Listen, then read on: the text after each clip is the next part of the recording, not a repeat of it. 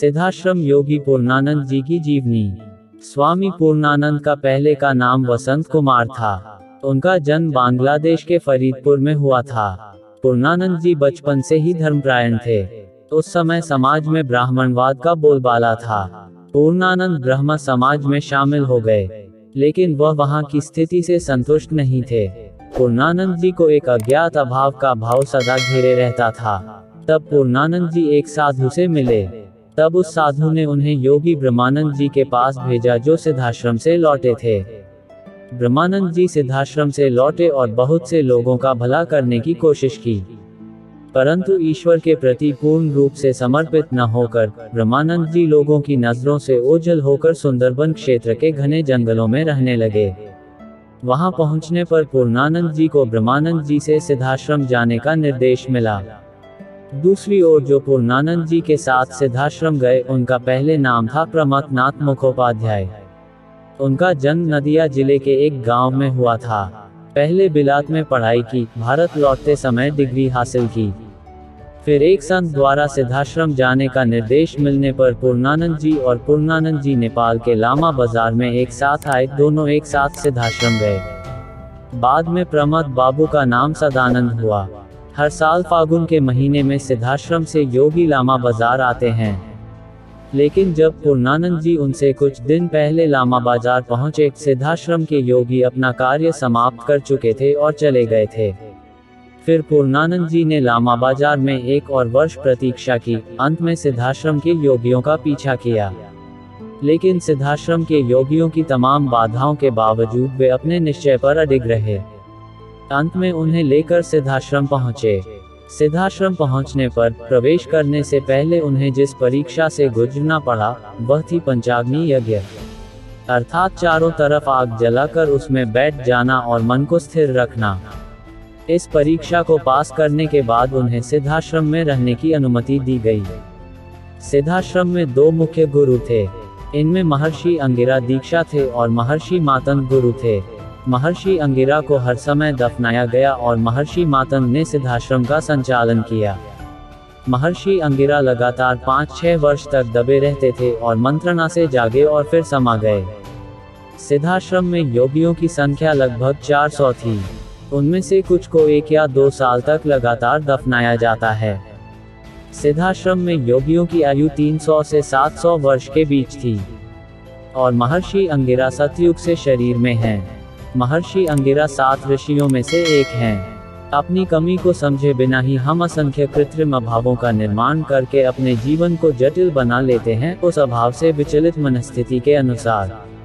जैसा कि हम नहीं जानते कि कमी क्या है, हम चीज़ों के माध्यम से कमी को पूरा करते हुए कमी को बढ़ाते हैं। इसलिए जो बहुत अमीर हैं, उनके पास भी कमी नहीं है। कमी बाहर नहीं है, हृदय की कमी है, जो बाहरी वस्तुओं से कभी तृप्त नहीं हो सकती। व्यर्थ की चेष्टाओं में ही जीवन व्यर्थ जाता है, हमारा मन और शरीर बातों से विचलित हो जाता है। तो मन की कमी संतुष्ट नहीं है, अभाव के भाव से मन बेचैन रहता है। तो मन को हृदय में स्थिर और स्थिर करने के अतिरिक्त और कोई उपाय नहीं है। वास्तविक सुख की अनुभूति तब तक नहीं होती जब तक कि मन पर अधिकार न हो। तो अवज्ञाकारी मन सुख की चाह में अनेक बातों से विचलित हो जाता है और दुख का साथी बन जाता है। सिद्धाश्रम के निर्देशों के अनुसार, पूर्णानंद जी ने अभ्यास और निर्णय के माध्यम से महसूस किया कि अहंकार आत्म साक्षात्कार के लिए बाधा है। हम हमेशा सांस ले रहे हैं। इसलिए हमारे बीच आकर्षण, विकर्षण पैदा हो जाता है। इसलिए हम अपना जीवन जागने और सोने की लय में बिताते हैं। निर्णय और उपलब्धि अध्याय में यह बेचैनी और गर्व जितना कम होता जाता है, उतना ही हमें परम आनंद और शांति की प्राप्ति होती है। इस प्रकार निर्णय और अभ्यास से पूर्णानंद जी ने अपनी स्थिति या खुद को एक नए तरीके से जान लिया। और परम आनंद और शांति का अधिकारी बन गया। सुख पाकर पूर्णानंद जी ने देखा, यह सुख भी अंतिम नहीं है। क्योंकि आनंद के साथ भाव और अनुभूति की दो अवस्थाएँ बनी रहती हैं। इस अलग स्थिति से मुक्त, अखंड स्थिति में अद्वय या अद्वैत स्थिति कहलाती है। जब मन अशांत होता है, श्वास अशांत होता है, क्रिया अशांत होती है और ज्ञान अशांत होता है। इसलिए अखंड भाव में खड़े रहना ज्ञान कहलाता है, जो ज्ञान का स्वरूप है।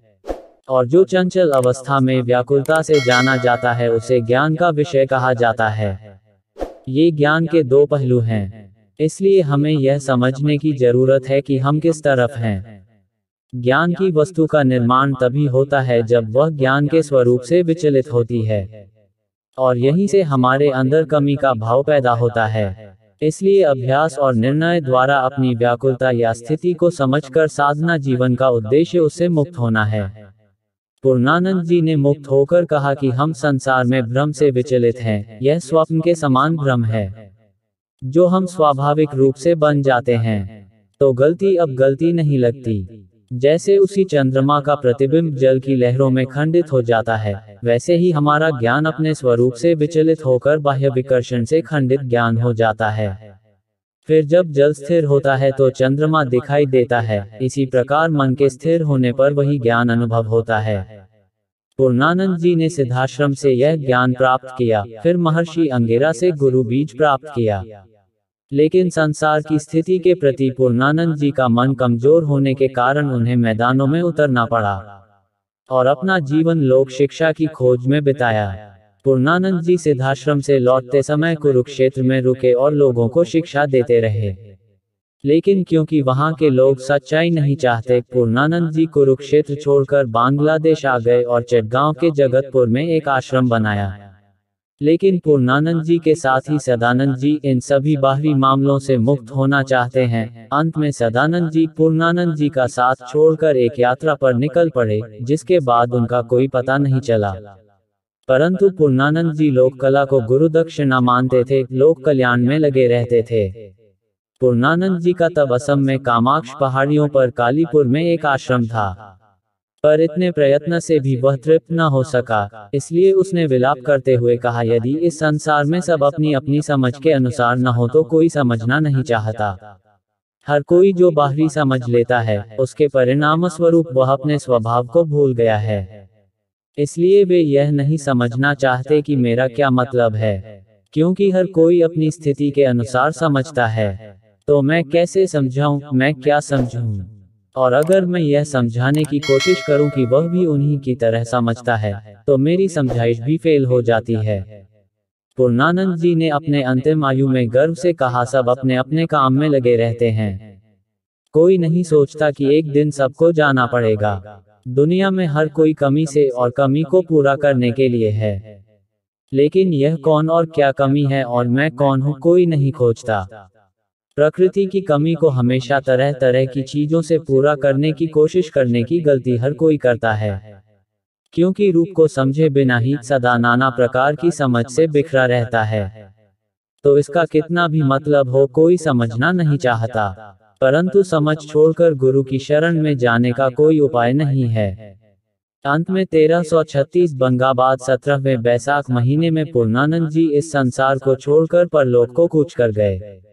पूर्णानंद जी के बाद भूमानंद जी कालीपुर आश्रम के प्रभारी थे। भूमानंद जी के कुछ प्रमुख शिष्यों में लीलानंद जी भी थे, जिनसे मिलकर सिद्धाश्रम की शिक्षा और अभ्यास के बारे में जाना, उसके मुख्य सिद्धांत की मैंने यहाँ चर्चा की है।